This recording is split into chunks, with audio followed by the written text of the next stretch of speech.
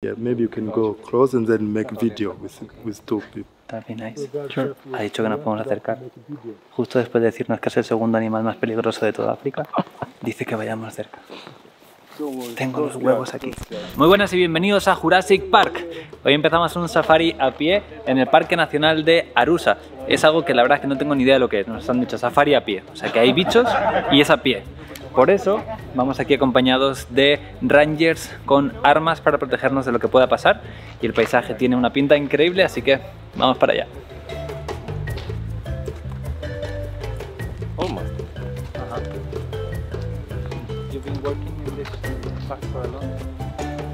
Bueno, como vamos a ir andando, eh, lo que voy a hacer es llevarle el teleobjetivo más largo que tengo, que son 400 milímetros. En esta cámara equivale a un 600 porque es APS-C. Entonces, bueno, entiendo que los animales no se van a acercar muchísimo, así que tengo más distancia para pillarlos. Eh, este paisaje es más tipo selva. Estos días hemos estado haciendo safaris en coche por Serengeti, eh, Tarangire y han salido fotos como estas que veis. Ahí una labor súper importante es la del guía, la del conductor, porque saben exactamente dónde están los animales, cómo llegar hasta ellos. Eh, es increíble. O sea que ya el mérito de esas fotos, quiero decir que no es tanto mío, sino mucho de los conductores. Y en este caso también tiene mucho mérito ir acompañados eh, de gente que sabe encontrar los animales. Así que a partir de ahora iremos un poquito más en silencio, porque tiene pinta de haber muchas cositas interesantes por aquí.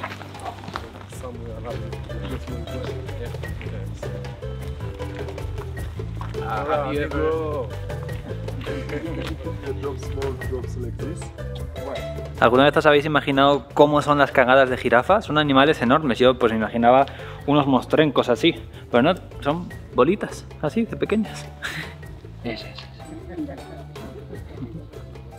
¿En serio eso de jirafa? No me lo creo. Bueno, nos encontramos en Arusa National Park y es un lugar que está justo al lado de la ciudad de Arusa, que es un poco la capital del norte, la capital de los safaris lo llaman, porque es de- desde donde salen los safaris a pues Serengeti y demás. Safari realmente significa en Swahili como viajes.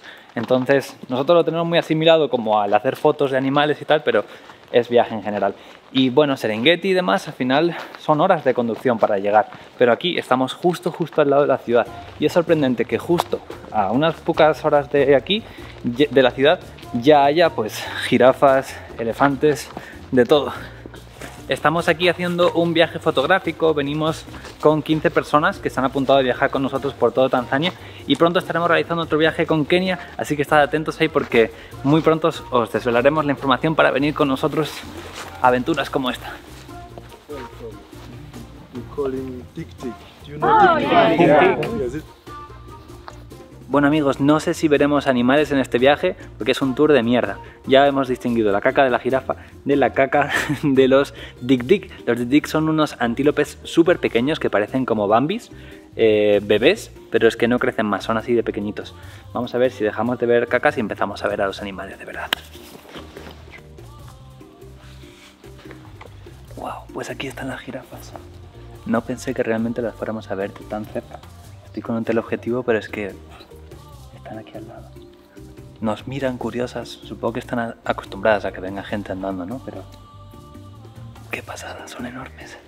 A estas jirafas se las llama jirafas masai y es porque el color, los patrones que tienen en el cuerpo son como los vestidos de los masáis y también porque hay veces que cuando se mueven y saltan simulan, bueno, los masáis tienen un baile muy similar a cómo se mueven estas jirafas. María va a hacernos una demostración en vivo de cómo bailan los masáis.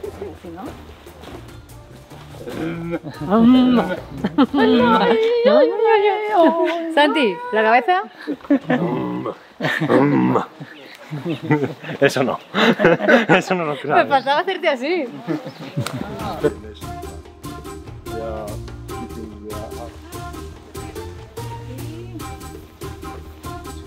Este no es un tour para venir en pantalones cortos o en sandalias porque está lleno de pinchos por todas partes. Mirad estos árboles.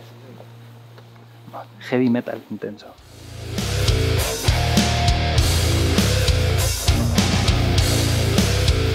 Es una pena que hoy el día esté un poco nublado porque realmente estamos a los pies de dos grandes montañas. Aquí está el Monte Meru, que son 4.500 metros de altura. Pero no solo eso, sino que justo hacia el otro lado, por aquí más adelante, podríamos llegar a ver el Kilimanjaro, la montaña más alta de África. Bueno, hoy no tenemos suerte con la vista, pero aún así el paisaje es increíble.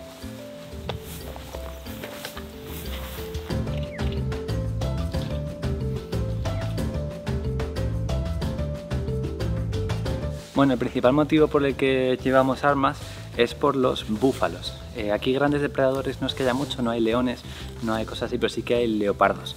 Aunque verlos es prácticamente imposible y que lleguen a acercarnos a nosotros siendo un grupo así, nada. Pero los búfalos a veces sí que se pueden poner defensivos y puede ser peligroso, entonces por eso llevan las armas.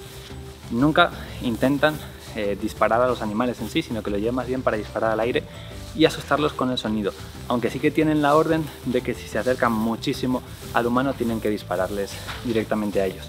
Nos han contado que en ocasiones pasa que se acercan y tienen que disparar, pero que es muy muy muy raro que tengan que llegar a disparar a matar.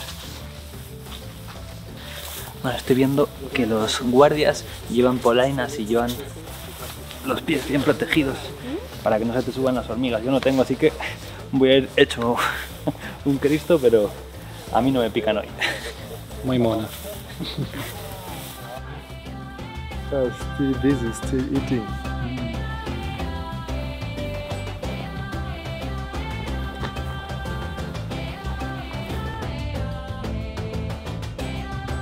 Pumba, Pumba. Por esta zona estamos viendo pumbas. Los pumbas son jabalíes verrugosos se llaman, pero es que mola mucho más decir pumbas, todos sabemos a lo que nos referimos. Muchas palabras del Rey León vienen en realidad del suajili, del idioma de aquí, un idioma que también se habla en Kenia, en Uganda, en Ruanda. Y bueno, por ejemplo, palabras como Rafiki, que es del, de la peli, pues significa amigo, o Akuna Matata, que lo dicen mucho cuando estamos por aquí, ¿no? Son palabras en suajili, aunque en verdad Akuna Matata no es la manera más local de decir ningún problema. Si quieres hablar en slang auténtico para decir ningún problema, hay que decir Akuna Sida.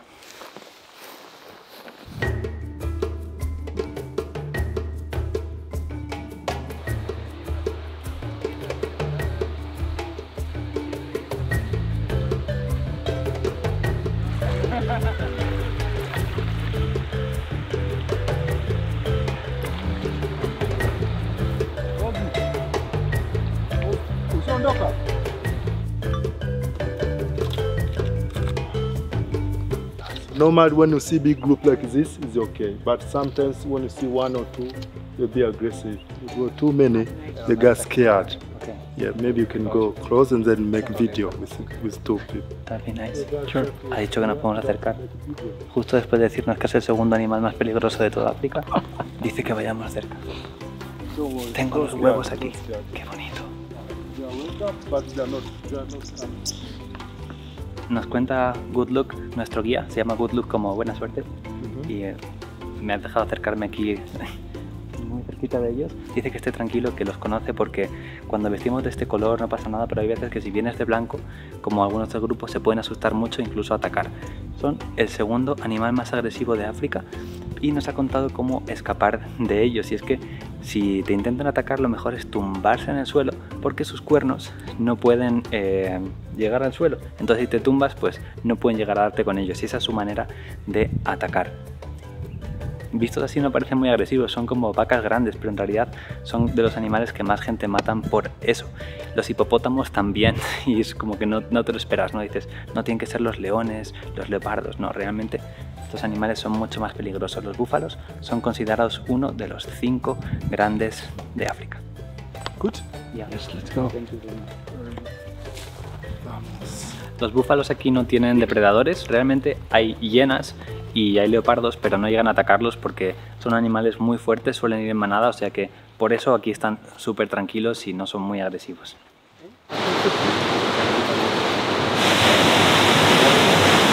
Bueno, aquí el amigo Bambú está haciendo un libro sobre fotografía de desnudo y ha visto una cascada preciosa que hay aquí. Ha dicho, venga, vamos a desnudarnos todos y ponernos ahí para la foto. Yo no sé cómo se van a tomar esto los Rangers, porque no les hemos dicho nada de que de repente se va a, despelotar un grupo grande de gente ahí. Entonces, bueno, vamos a ver qué pasa. Eh, te apuntarás, ¿no? No, yo estoy grabando un vídeo. no. Esto no lo... Me ha dicho que está bien. ¿De qué os reís vosotros? Estoy viendo ahí desde lejanía. No, que, ¿qué pensarán los Rangers? eh? Ah, sí. estamos, estamos en esas. ¿Pero sabes? Sí, se lo ha dicho, se lo ha dicho. ¿Te lo ha dicho? Sin más. Chicos, me hace falta algunos cuerpos más, que solo hay dos.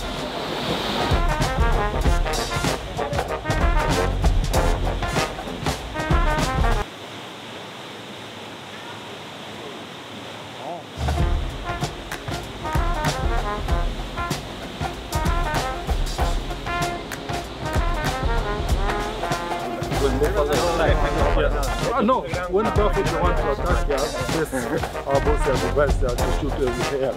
Según nos ha contado, en esta zona hay furtivos que en general vienen de Tanzania y bueno, en algunas ocasiones él se ve obligado a dispararles. La orden que tiene es que si hay algún furtivo que lleve, por ejemplo, una pistola, su orden es disparar directamente hacia ellos. Aparte de guía turístico, como está haciendo ahora, de guiarnos a nosotros, también hace de ranger y por las noches tiene que patrullar en búsqueda de furtivos. Pero hace un poco de todo, porque de hecho hoy eh, viene de bajar el Monte Meru, que son cuatro días de escalada, y nada más bajar se ha venido con nosotros, o sea que sin parar. Y hay días que le toca aquí de noche. Dice que de noche es cuando es más fácil ver leopardos, que durante el día es bastante complicado. Según nos han comentado, aquí había rinocerontes en todo este área, pero desgraciadamente, debido a los furtivos, ya no queda ni uno solo en todo este parque nacional. Lo que sí hay algunos parques que los guardan, hay santuarios de rinocerontes en Tanzania porque es un animal que está en peligro de extinción y vamos a tratar de ir a uno en los próximos días a ver si conseguimos que nos dejen entrar y contaros. Y es que la entrada a los santuarios no es fácil. De hecho, eh, nos han preguntado a ver si podíamos enviar nuestros pasaportes, porque lo que hacen es investigarnos para ver si tenemos algún familiar o alguna persona conocida que pueda ser cazador furtivo. To you, I have to say something. Yes. We do, Um, guys. Yeah. So next time we come, you take the picture naked with us. No, regulation is not allowed. Bueno, hemos visto jirafas, búfalos, cebras, un montón de aves, ha sido muy bonito. Eh, es una experiencia que está justo al lado de Arusa, entonces si venís algún día por aquí es muy sencillo, es un día y es muy divertido, así que creo que la experiencia merece la pena. Pronto más vídeos, tenemos muchas aventuras por delante, así que suscribiros al canal si no lo estáis y nos vemos muy pronto. Chao.